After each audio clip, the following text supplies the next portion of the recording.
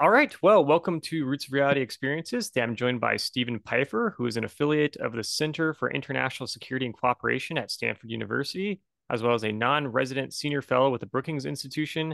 In the past, Steven was the Deputy Assistant Secretary of State in the Bureau of European and Eurasian Affairs, the U.S. Ambassador to Ukraine, and the Special Assistant to the President and Senior Director for Russia, Ukraine, and Eurasia on the National Security Council. So, Ambassador Pifer, thanks for coming on today. Thank you for having me. So, when did you first get interested in the Foreign Service?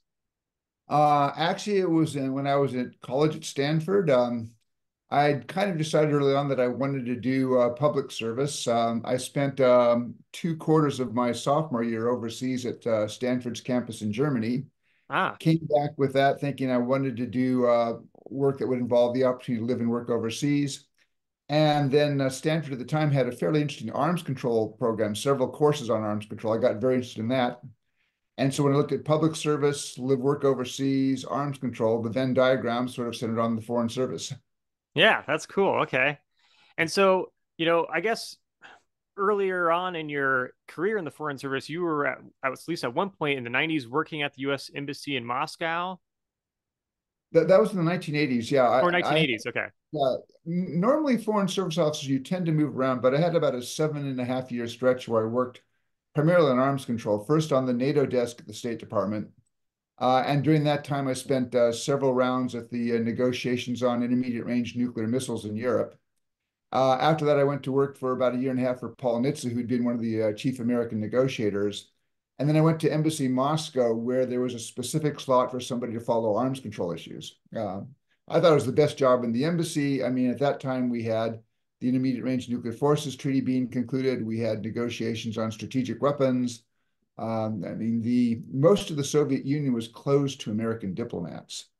Uh, in the two years, I think the uh, embassy got three closed area exceptions, and I got all three wow. to travel to places in, in connection with arms control areas. So that's fascinating. I mean, so obviously if you were in there in the 80s there's still a little bit of time before the soviet union would collapse um, you know were you aware of the fact that that could happen at the time or you know i, I think a lot of us missed the fact just how um, fragile uh, yeah. and the soviet system was so you could see the changes that uh, mikhail gorbachev was making and i think he recognized that the system was not uh, going to allow the Soviet Union to compete uh, with the West. Right. When he talked about perestroika and glasnost, you know, restructuring and openness, I mean, he was trying to, I think, develop a stronger economy. Uh, but also uh, inadvertently, I don't think it was his intention. He unleashed some forces where you saw this, the internal tensions within the Soviet Union uh, really eroded. Uh, mm-hmm. You saw this in the nationalism expressed in the Baltic states and Ukraine, places like that, where this Soviet structure, which um, you know had been really imposed on people, uh, was not meeting what people had hoped for, uh, and was really you know basically could not survive on it. It sort of collapsed internally. Yeah. So I mean, you know, how concerned were you then, given that a lot of your work has has dealt with like arms control and such things? You know, how concerned were you when the Soviet Union broke up that you have, you know, the sort of dispersal of nuclear weapons? You have some in Ukraine, obviously Russia has some. You know, what were you thinking then? Well, I mean, one of the early focuses, and this was, I think, the, the nuclear weapons question was very much at the top of the agenda for what was then the George H.W. Bush administration when the Soviet Union collapsed. I mean, you had strategic nuclear weapons in Russia, Ukraine, Kazakhstan, and Belarus. Um, but you also had tactical nuclear weapons in, in, in, even more of the now new independent states that had once been part of the Soviet Union. Um, the Russians moved very quickly, and I'd say by the summer of 1992, so within six months of the of the formal end of the Soviet Union, they had returned all of the tactical nuclear weapons to Russia. Uh, and sometimes it's not clear that they did that with any real coordination with the uh, country where those weapons were. Right. Uh, but it still left the issue of the strategic nuclear weapons that were in Kazakhstan, Belarus, and Ukraine. Uh, six months before the collapse, uh, the Soviet Union and the United States had concluded the first Strategic Arms Reductions Treaty. Uh, now, of course, with the Soviet Union no longer in existence, so in May of 1992, you had the Lisbon Protocol, And in that document, Russia, Ukraine, Kazakhstan, and Belarus basically agreed to take on the Soviet obligations uh, under the treaty. Mm-hmm. But also, uh, Kazakhstan, Ukraine, Belarus also agreed that they would eliminate all nuclear uh, weapons on their territory. Uh, you know, get, eliminate the the missiles, the launchers, the bombers, um, and uh, transfer the warheads back to Russia for elimination. Yeah, so that's a that's gets I guess to a really fascinating aspect of that history, especially today. You know, what was the thought at the time of like Ukraine giving up their nuclear weapons to Russia? Yeah.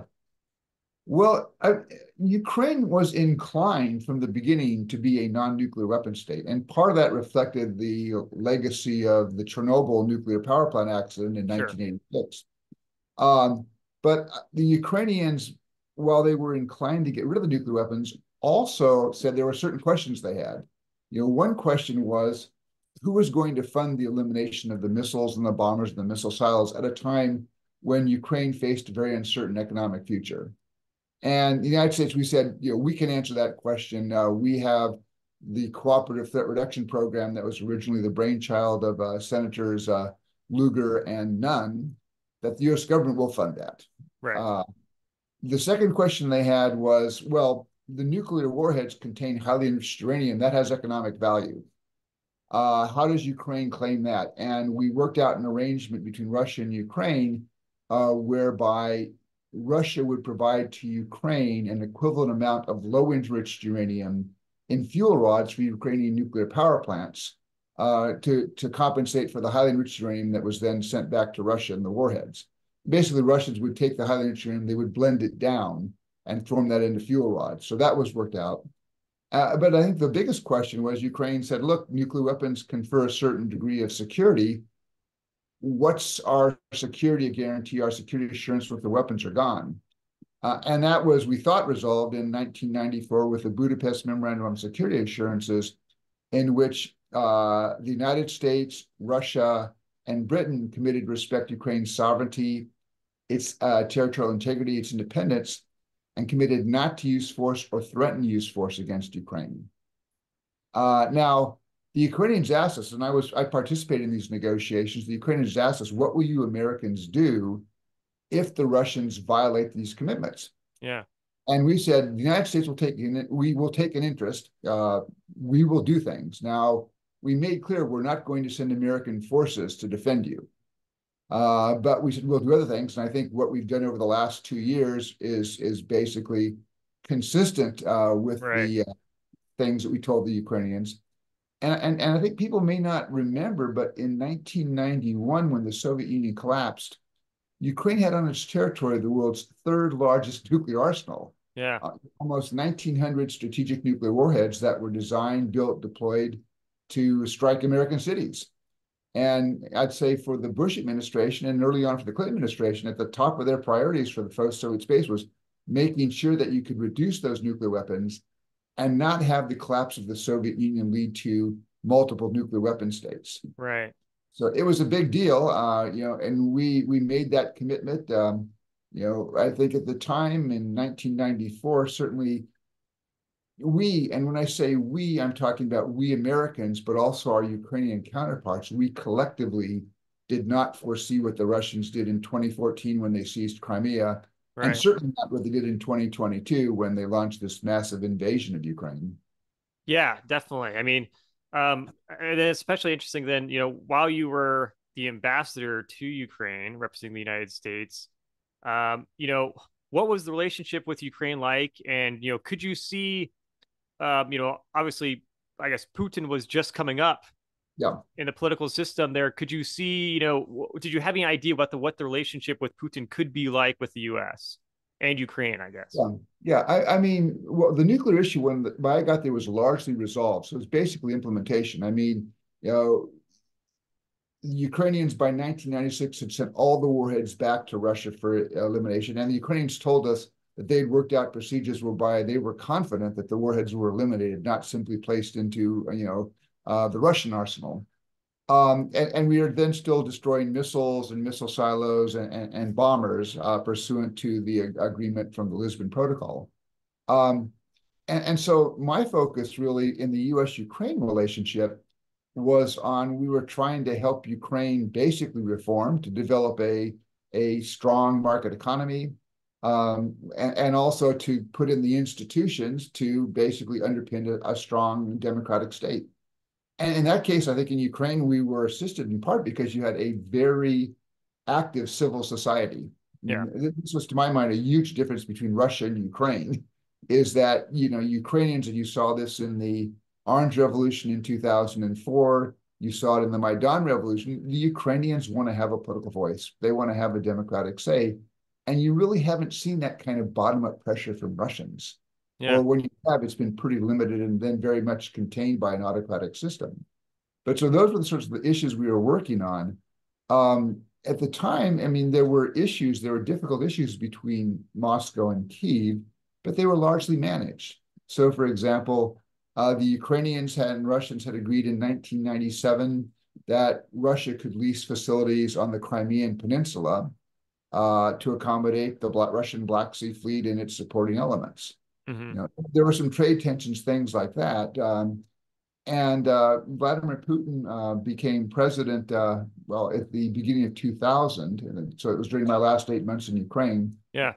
I, I think the Ukrainians were a little bit uncertain about Putin. I mean, they had gotten used to Boris Yeltsin, and, and Yeltsin, I mean, certainly had his flaws as the president of Russia, but Yeltsin was very good from the Ukrainian point of view on one thing: is Yeltsin accepted Ukraine as a sovereign, independent state within its borders uh, at 1991, which included Crimea. Yeah, uh, and there was some uncertainty about Putin, although I can't say that in 2000 that my Ukrainian counterparts were expressing the kinds of concern that Putin would do what he, you know, went on to do in right. 2014 and 2022.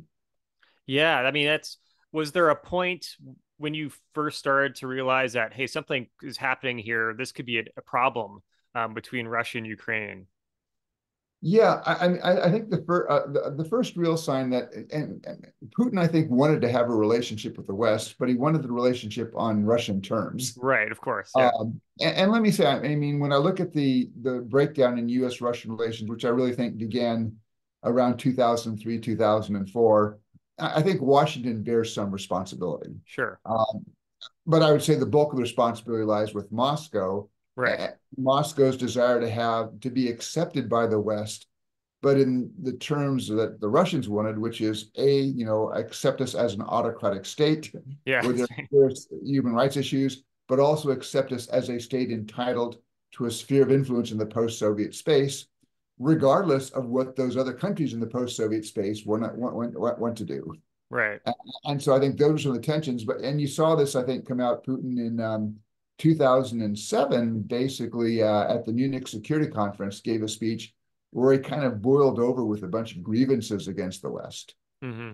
Uh, and, and, again, I, I, a couple of the grievances, I, again, I, th- I think um, there are some things that the Bush administration might have done that perhaps could have answered some Russian concerns.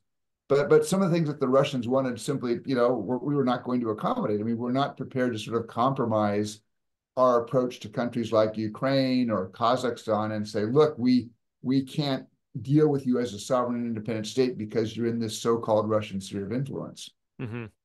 Yeah, I mean that is interesting because you know obviously uh, when it comes to diplomatic relations in general between countries, um, there's always little things that can cause bigger issues if they're not taken care of, and it makes sense that you know U.S. policy obviously is never going to be perfect, and some of those sort of issues can can cause bigger problems when you're dealing with regimes that are highly sensitive or you know have a have an ambition that they're looking to put in place some way or somehow. So that's very hard to navigate that. Yeah, I, and I think the other problem too is, I mean, the relationship between Washington and Moscow, and this goes back to Soviet times, probably goes back 60 years, but it really, I believe, is dependent on attention and focus from the people at the top. Yeah. Uh, you had that during the second term of the uh, Reagan administration. You had it during the George H.W. Bush administration. I think Clinton engaged um, Yeltsin. You had it for the first couple of years of the George W. Bush Putin relationship, so 2001 to 2003. But I think in 2003, the two presidents got distracted. President Bush became preoccupied with Iraq. Uh, Putin became preoccupied with reordering the domestic system within Russia in a more autocratic way. And you had some drift there. I, I began to see this when I was during my last year in the government before I retired in 2004, begin to see this drift because there wasn't the focus from above. Uh, and I think uh, as that drift began, frustrations built up on both, both sides. Yeah. Uh, and again, there was there were some opportunities there that were missed, perhaps, to address some concerns that might have, you know, extended the possibility of sort of having a better relationship. But I think by 2007, you know, Putin mentally was in a fairly negative place about the West. There was, you know, of course, the the first couple of years of the Obama administration, the reset. Um, I think uh, reset is now seen as a negative term. yeah, yeah. Although I would actually argue that reset, if you look at what was accomplished under those under the term from 2009 to 2011, we got the New START treaty. The Russians became very helpful in Afghanistan, including letting the United States move uh, lethal military uh, uh, equipment through Russian territory, direct flights across Russia to Afghanistan. Uh, Russia was fairly helpful on Iran. Um, and and the United States was doing things like helping uh, Russia get you know move towards the uh, the World Trade Organization. Right. Um, I think what happened in 2011, of course, is Vladimir Putin came back to the Russian presidency. Yeah. And and and Putin brought a set of grievances uh, that made it more difficult to continue the reset. So may, maybe had the administration, the Obama administration in 2011 said, well, reset's done, we're moving on to something else. Right. Uh, but it certainly, I think, was fairly clear by the end of 2012, early 2013, that you weren't going to achieve much more with Vladimir Putin, uh, that it was going to be a question, can you manage the relationship and keep things from deteriorating? Of course, in 2014, you saw the uh, the uh, Russian seizure of Crimea. That was, um, I mean, I think, and actually, uh, uh, with Fiona Hill, who was a colleague at Brookings, we actually wrote an article, I think, in January of 2014, saying that um, once the Sochi Winter Olympics are over in February, we thought that the Russian uh, Russia would settle some scores that it had, particularly with Ukraine. Wow.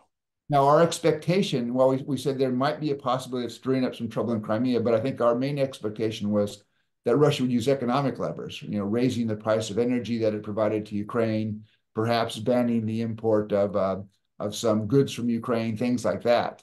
Uh, but uh, you know, Putin went uh, to the extreme route uh, and used military force to take Crimea. Wow, yeah, I mean, it's interesting because um, I remember that incident pretty well. I was actually in St. Petersburg at the time when uh-huh. that happened. Um, my father's a, a, Russian historian, and so we were just doing a little trip there. Um, we were kind of going around like a little Baltic cruise, kind of with Estonia, Finland, uh-huh. St. Petersburg, and I remember seeing it on the news on like BBC in the hotel room. And the same day, if you go to if you went to like a, a Russian souvenir store there in St. Petersburg, they had T-shirts already printed out with Crimea with a Russian flag over it. Yeah. It was unbelievable just to see how like you know how much they were planning this um in society there. Uh, you know, so from that at that point, what what's going through your head then when it comes to the future of Russian American and Ukrainian relations? Well, you know, I mean, this is blatant use of military force to to take territory, and I, I think in looking at this, and it's become even more clear since 2022 is I, I think there's several factors behind why the Kremlin launched the major assault in 2022. But I think the main factor, and it also plays out back in 2014, is Vladimir Putin is basically a neo imperialist. Uh, yeah. He is trying to recover, and he talks about Ukraine, and you can find this in the last, go back to his um, that major article he wrote in the summer of 2021. Yes. Yep. Look at his speech on February 21 of 2022, three days before the all-out invasion. Um, this is somebody who fundamentally does not accept Ukraine's right to exist as a sovereign independent state. Right. And he talks about this as sort of recovering historic Russian lands. Yes, yes. So he's basically trying to grab back some parts of the of what was the Russian Empire that Russia lost when the Soviet Union collapsed in 1991 irrespective of the fact that the Ukrainian people have long made clear that they want to pursue their own course. That and, and that's I think applies for a large number of ethnic Russians in Ukraine as well as ethnic Ukrainians. Yeah, I mean that's one of the things that has been, uh, you know, so obvious. It seems to me when it comes to the the motives of this conflict, uh, when when it, with Putin, because he's you know literally created the sources. They're right there in front of everyone to read um, about his ambition uh, with yeah. Ukraine. So it is it is crazy, uh, you know, how uh, it with international political discourse that people could could see some other other reason for what's going on. Um, and I mean, here's really the irony: if you go back to 2013, Russia had a neutral Ukraine. Yep. Then President Yanukovych had made clear that he did not want to join NATO. He did not want a membership action plan. He would cooperate with NATO, but he had no ambitions to join NATO.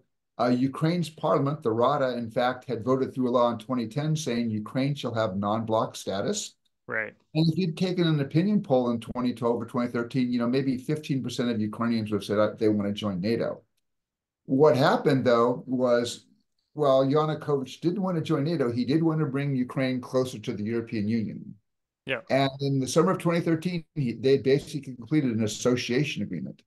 Now, up until 2010, the Russians said, we don't care what Ukraine does with the European Union. In the summer of 2013, the Russians decided that they cared. And so they began threatening Yanukovych and saying, if you sign the association agreement, you know, there will be economic consequences. We will you know, jack up energy prices. We will prohibit the import of some Ukrainian goods into Russia. We'll mess yep. with your economy. And they also dangled in to Yanukovych some large low interest loans. And the Russians succeeded as they persuaded Yanukovych not to sign the association agreement. That was announced in the afternoon in one day in November. That night, the Maidan revolution began. Yeah, yeah. So the irony here is, I mean, it was had the Russians let Yanukovych go forward with the association agreement and and work with the European Union, you might have avoided all of this. Right. No, definitely. I mean, that makes perfect sense. Um, I'm curious then, you know, given your expertise with, you know, nuclear weapons and arms control, you know, what do you, what should the U.S. make of, you know, recent nuclear threats from the Russian government regarding Ukraine? Yeah, I, this is where I guess, I mean, I, when you talk to people in the administration, uh, and this goes back really to the, you know, early 2022, they said there's two goals. One is to support Ukraine. The other is to avoid a direct NATO-Russian military clash. And, and those are the right two goals. Right. Where I would be critical of the administration is, I think, in, in finding the balance between those goals, they've been overly cautious. Yeah. So if you look at nuclear threats, and I think in this case, the, the person to pay attention to is Vladimir Putin. He really peaked on the nuclear threats back in September of 2022. And at that point, he'd announced the annexation of Zaporizhia, Kherson, Luhansk, and Donetsk. And he gave a speech where he said, These are Russian territory. We will defend them with all means at our disposal. And I think he was trying to signal the Ukrainians, don't fight for this. This is now Russian territory. Right. The Ukrainians already see this as an existential fight. That didn't change. So it had no impact on the Ukrainians. Uh, I think Putin was hoping it might have an impact on the West. The West basically said, we're going to continue to help the Ukrainians and if you Russians should use nuclear weapons against Ukraine, there will be catastrophic consequences. Full stop. Let the Russians try to figure out what that would be. But then I think you also had the Chinese, the Indians, and others from the global south, countries that matter to Russia, saying, don't do this. And, and you actually then, if you look at the end of October, uh, Putin really tries to dampen, in this October 2022, tries to dampen down the rhetoric. So he goes to the Valdai Discussion Club. He's asked about these threats. And he says, We don't make threats. Th- that's not our policy. Read our doctrine. He said, This is just the West trying to tarnish Russia's good name. And then a week later, the Russian foreign ministry comes out with a statement out of nowhere on prevention of nuclear war, which would be 95% of what we in the West would want to see. Uh, and then a few weeks after that, um, the foreign minister Sergei Lavrov is in Bali at the G20 summit. He's there because Putin would not travel there, and he signs on the language uh, that, among other things, says you know, we agree, the G20 agree that use or threats of nuclear weapon are inadmissible and unacceptable. So I, I think the Russians understood that the nuclear threats in the fall of 2022, A, were not working, and B, were causing concern on the parts of people you know, in, in China and India. So they lowered the rhetoric. Uh, and yeah. last year, I mean, uh, over the court, you, you you still see some people, you know, voicing. I mean, Sergei Karaganov has gone, you know, almost insane on some of his rants about this. Um, but you know, I, I, had a chance in the track two conversation about two months ago to talk to a Russian, and the Russian basically said, and this is a guy who, you know, former military officer, made the comedy says, you know, when you're looking at the nuclear reticos, pay attention to Vladimir Putin. Don't listen to anybody else. Yeah, I mean that that makes sense. You would think he would be the the main person that everything depends on. I would think so. Yeah, yeah, and I mean, I I think that these other folks are probably allowed to make you know again these things which I I mean you know Karaganov has sort of suggested. Well, we we should use some nuclear weapons against Europe. That'll then reinstill a fear of nuclear deterrence in them. Uh, and, and what was interesting was when Karaganov first came out with this article within a couple of days how many other Russian authors came out and said, this is crazy. um, uh, so, but I, I, think the, the Russians want to sort of keep that there to make the West a little bit nervous, you know, but, but again, you know, we, we need to understand that you know, the nuclear weapons, it, it's a card the Russians tried to play. Um, it, you know, it didn't work. Uh, and, uh, you know, at the end of the day, I think the Kremlin is fairly sober when it comes to nuclear weapons. Yeah, I think that's one thing people tend to sort of exaggerate. I think people tend to underestimate the rationality when it comes to something like nuclear weapons. When it with authoritarian nations, um, I think people kind of tend to think that everything operates in in in such a vacuum that they would do anything. But that's kind of also their game plan. They want you to be a little uncertain about what they're going to do um, to to get perhaps what they want if they can. Yeah, yeah, but but but on the other hand, I, I think also that uh, that there are those in, in, in Moscow who understand that actual Russian use of nuclear weapons opens up a Pandora's box. Yeah, of course. At that point, you've changed the rules of the game and you then do not know what will happen. Right. That's right. It becomes so unpredictable that they can't, they don't know what's going to happen next. So it's, yeah. uh, yeah, that makes perfect sense as well. So what do you think then is the future of uh, U.S. foreign policy with Russia and Ukraine? What should be the future of U.S. foreign policy then, given the situation today? Yeah, um, well, I'm fairly strongly of the view that the United States should continue to support Ukraine. Um, I, I and I, I think that's and that's not just because what Ukraine did 30 years ago in getting rid of the nuclear weapons that were sure. a big priority for us. But I, I, think the U.S. has, for more than seven decades now, said we have a vital national interest in a stable and secure Europe uh, if the Russians win, Europe is not going to be stable. It's not going to be secure. Right. And uh, here's my concern, which is that I don't know how far Vladimir Putin's ambitions extend. Uh, but he's talked about recovering historic Russian lands. If you look at a map of the Russian Empire in the late 19th century, you'll see that the Baltic states, Finland, a, bar, a big part of Poland were part of the Russian Russian Empire. Yeah. Now, I, I wouldn't say that there's. I, I think if if Putin prevails in Ukraine, if there's a win there, I think he becomes emboldened. Yeah, I, yeah, it makes sense. That means more risk, for example, to Moldova, but I also think it may mean more risk to, say, the Baltic states. Now, is there a high probability that you know Putin would launch an attack on a NATO member? You know, maybe not, but it's certainly not zero. Yeah. And if you'd asked people like me uh, or other analysts, say five years ago, could you foresee what Putin did in February 2022? We would all said, no chance. I mean, he's not that reckless. Right. So I, I think we should not underestimate Vladimir Putin's ambitions. If we do so, there's a risk. And so when I look at this and saying, look, in the case of Ukraine, we're sending weapons, we're sending money, but there are no American soldiers fighting in Ukraine. You know, if Putin should win in Ukraine and decides that Eastern Estonia is next on the list, we're going to be sending American troops. It's better to stop Putin in Ukraine. Yeah, I mean that.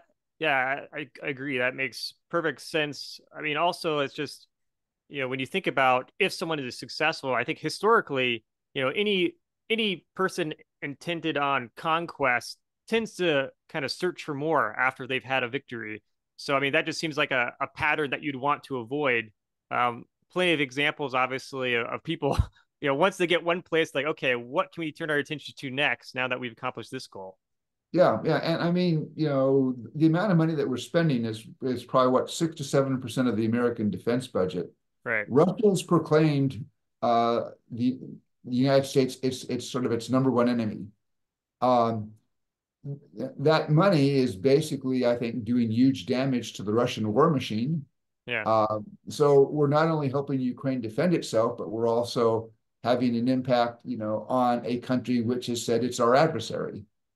Uh, so it, it, just seems to me that this is a case where the U.S. nationalism is very clear. I think we should also ask ourselves if the United States ends support for Ukraine, what message does that send to other countries in the world? I mean, yeah. what does China conclude? I mean, China concludes that yep. well, in the case of Taiwan, the Americans might be interested for 20 months, 22 months, but after that, they're going to get tired and go home. You know, it's a really bad message.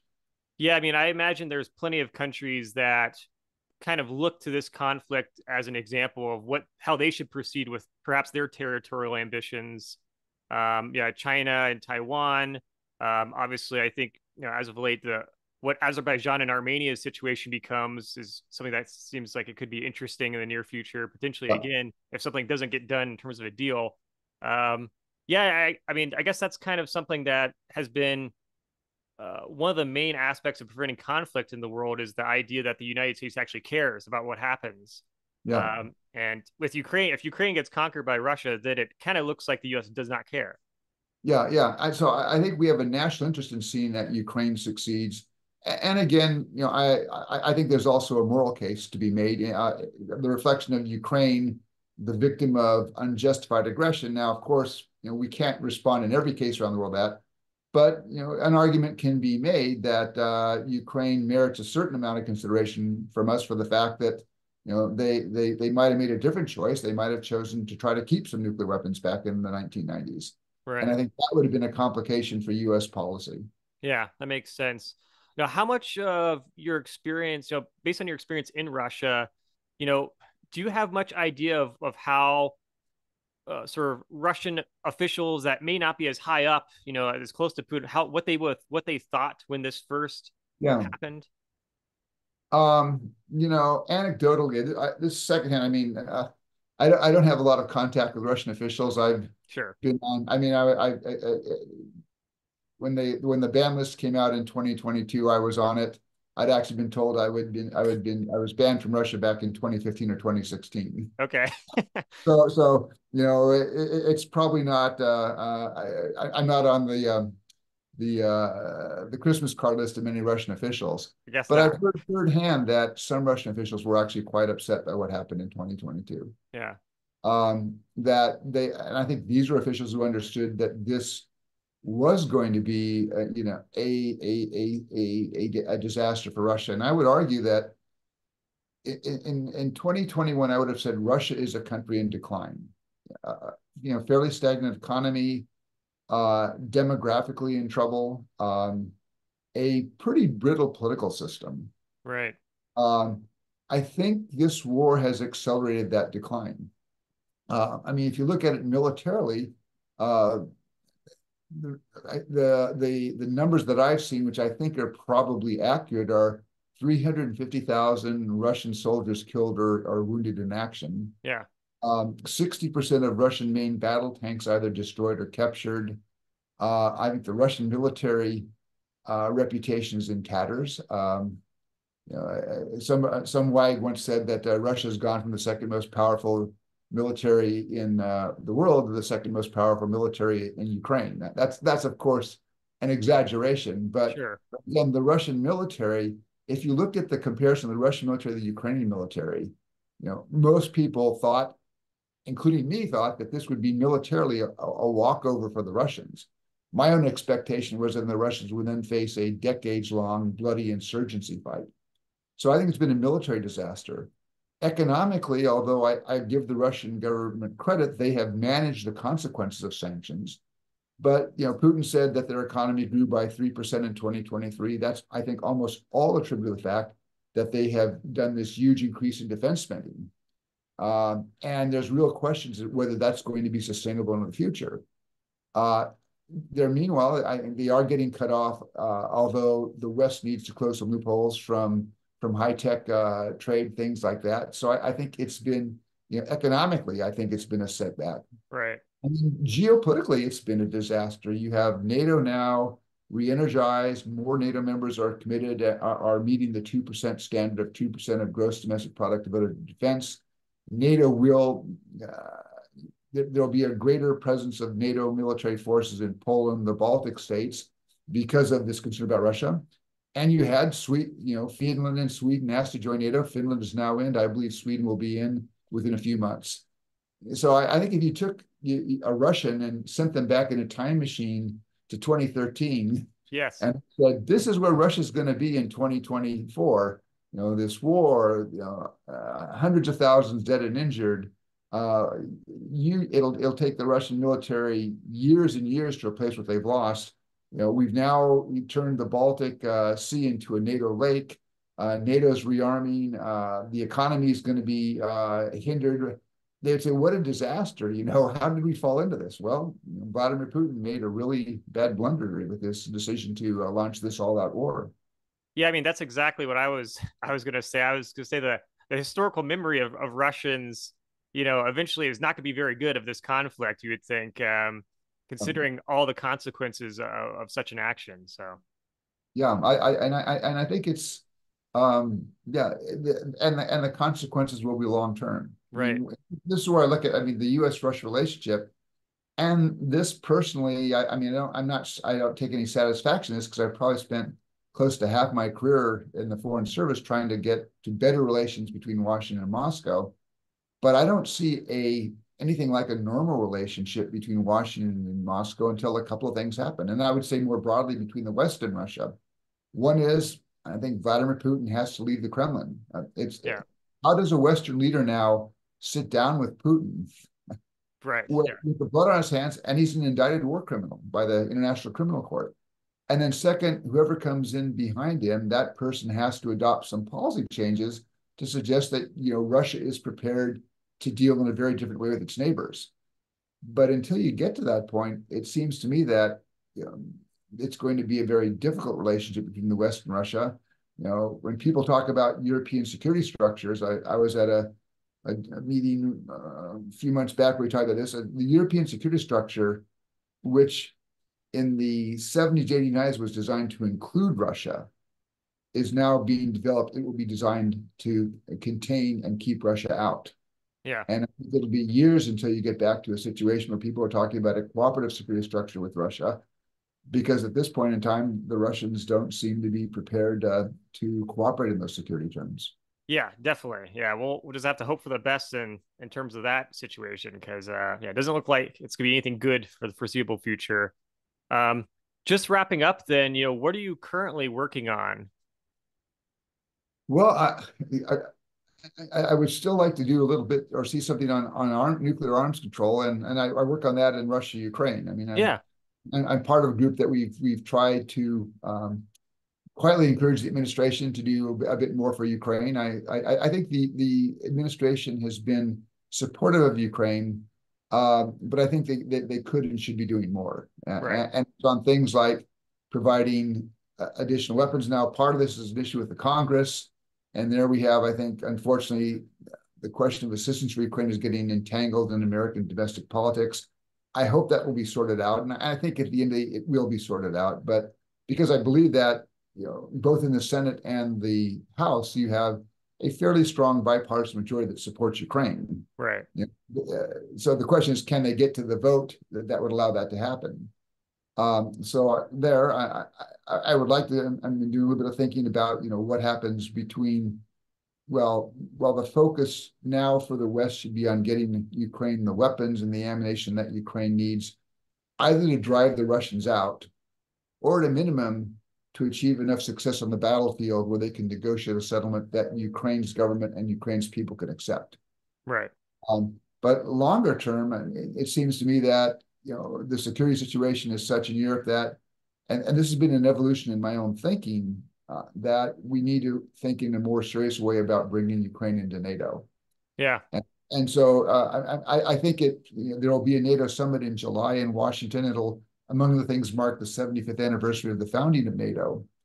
Um, and I think it, it, it's too early at that to uh, uh expect a NATO consensus on extending an invitation to Ukraine to join the alliance. But uh, I argued in a paper for Brookings uh, last uh, month that what NATO should be doing is launching accession talks. Right. So yeah. talks with Ukraine with an early view to extending the invitation at some point down the road, uh, which I think would be a valuable signal, both in terms of assuring Ukraine that there's a West a place for the Ukrainians in the European security structure, but also sending a message to Moscow that NATO support for Ukraine will endure. Uh, so I've been working on that. Uh, on the arms control side, unfortunately, while I, I there are ideas out there, I think um, at this point in time, although there are, I believe, people in Moscow who see value to arms control, uh, Vladimir Putin has come to this conclusion that he wants to punish the West, and one way to punish the West is by uh, basically make you know undoing arms control. So, for example, a year ago, Putin announced that uh, Russia would suspend the new Strategic Arms Reductions Treaty. Now, the Russians quickly clarified that Russia will continue to observe the numerical limits. Right. How they're suspending the data exchanges, the notifications, the inspections, and well, I think uh, there, there, are three basic limits in the New START Treaty, numeric limits. Two of them you can probably monitor with national technical means, things like reconnaissance satellites. But the most important limit to my mind is the limit on deployed strategic warheads. And that becomes harder to have confidence that the other side's observing that limit if you don't have notifications and inspections. And then you had this kind of bizarre thing that the that Putin did back in the fall where uh, the Comprehensive Test Ban Treaty. Now, here's where the United States uh, cannot brag. I mean, we've signed the treaty, but we've never been able to ratify it. Sure. And it was signed 27, 28 years ago. Russia ratified the treaty, but Putin then said, well, we're going to we're going to withdraw our ratification. you know, it, it doesn't mean anything because as a signatory to the treaty, Russia still has an obligation not to take actions inconsistent with the treaty. But I think, again, it was Putin trying to sort of shake up the arms control regime. And so, if that's going to be the prevailing attitude in Moscow, uh, I worry that arms control, which I think is in both the American and the Russian interest, is going to have a, a difficult period coming ahead. And my guess is we're likely to end up in a an arms race with Russia and China for several years. I don't think that's a happy prospect, but no reality. And then hopefully before too long, we recall the lessons that we learned back in the 1960s, which is at some point piling more nuclear weapons on top of our arsenal doesn't buy us any security if the guys other guys are doing the same thing. Yeah. And finding our ways back to, you know, the arms control dialogue that, you know, might uh, make things a bit more stable and secure and less expensive for everyone. Yeah, I mean, it seems like you're gonna have plenty of stuff to write about then for the foreseeable future. I think. well, uh, yeah, yeah. I, again, I, I, I wish I could write be writing a little bit more about success on on, on yeah, both that's the, right. and on arms control, but we'll see. Yeah, hope for the best. And uh, what's the best way for people to follow your work? Um, well, I uh, either at the uh, if you go to what the the Center for International Security and Cooperation at Stanford, they have a news page uh, which which publishes all my articles. and you can also go to um, uh, the, the Brookings Institution, where I'm a non-resident senior fellow. And you look at Pifer at Brookings, and they also have a list of uh, all of my articles there as well in chronological order. Perfect. And you're also I'm, on. I'm also on Twitter, uh, yeah. which sometimes is you know not the best thing, but well, that's life. that's well. Thank you so much uh, for coming on and sharing all of your knowledge on you know such a critical issue today. So thank you for having me.